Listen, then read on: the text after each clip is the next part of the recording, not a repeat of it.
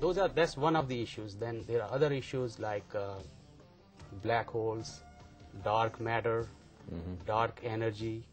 Isn't it? They're finding energy in the vacuum. Correct. Uh, what uh, in this is happening over in the last just few years when they have looked observed some of the supernovas which are supposed to be at the edge of the universe.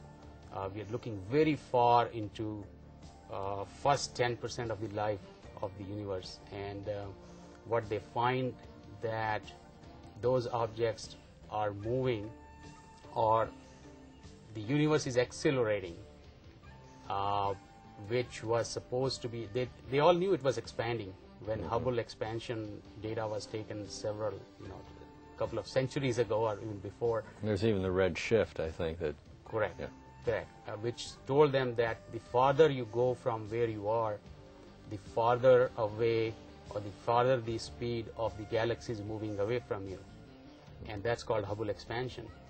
But it was a linear fit. It worked very well. But they had not seen the objects as far as they, which they are able to see now with the Hubble telescope and, and the new instruments they have. And so as the farther we go, they found out that from that data tells them that the universe is accelerating its expansion.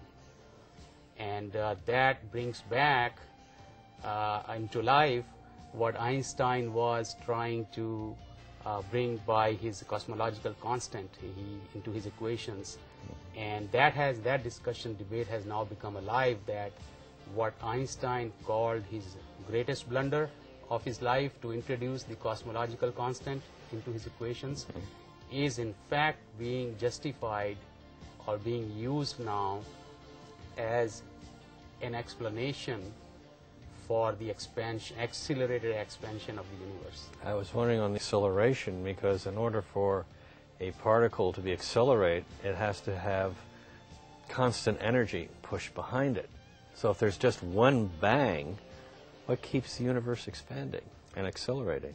Correct. Even if you go back to the Big Bang theory, uh, what they have, they don't know what happens at t equal to 0 But then immediately after that, are very small fractions of a second, uh, it started the so-called inflation period, where the universe expanded at superluminal speed. You know, again violation of Einstein's uh, speed of light, that it uh, expanded by several tens of orders of magnitude in a few seconds, and they called it expansion, uh, the the inflation, the inflation theory.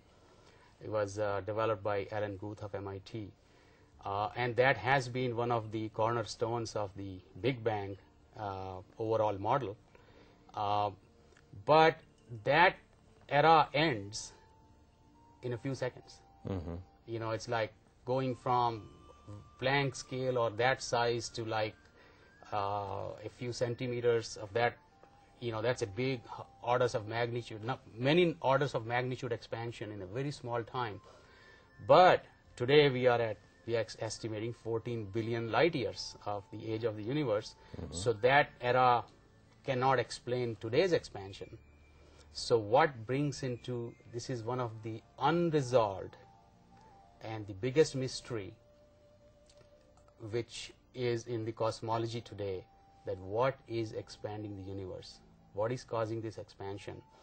And the best theories now say that of the overall contents of the universe the matter and energy uh, more than two-thirds about 70 percent is the dark energy.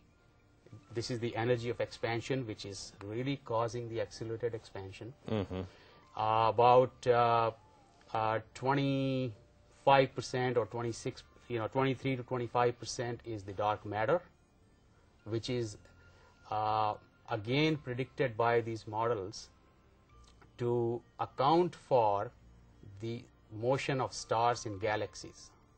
These, ga- these stars are moving so fast in the galaxies as they observe that in order to keep them intact in the form of galaxies, they ought to be, by applying Newtonian laws, they find out there must be hidden matter which is pulling these galaxies, uh, the stars in and keeps them in, otherwise they will fly apart. Yeah. So 20, about let's say a quarter of the universe is in the form of this dark matter, which is unseen. There's no uh, theory as yet to explain what is that made of and how to predict that, how to analyze that. So, bottom line is this, the overall So the gravitational effect of dark matter is what keeps the, the galaxies cohesive? correct, correct. All right. It's like uh, uh, if you take a, uh, let's say, a ball and you put a string to it and, and rotate it, it doesn't fly away because the string is pulling it. Yeah. And the same way, the mass, which is called these black holes, you call, black hole is a kind of, again, dark matter, which is at the center of the galaxy. And but they also say that even when you go out into the, they call the halos of the galaxies, you go outside the center, there is some hidden matter in the uh, open space where you can't see it what that is, but it's pulling those stars in, keeping them in. Otherwise, it's like if you st- break the string of that ball you're rotating, the ball will fly away. And same way, if this matter wasn't there pulling it in, like acting like a string, this ball will fly away, the stars will fly away, they're rotating so.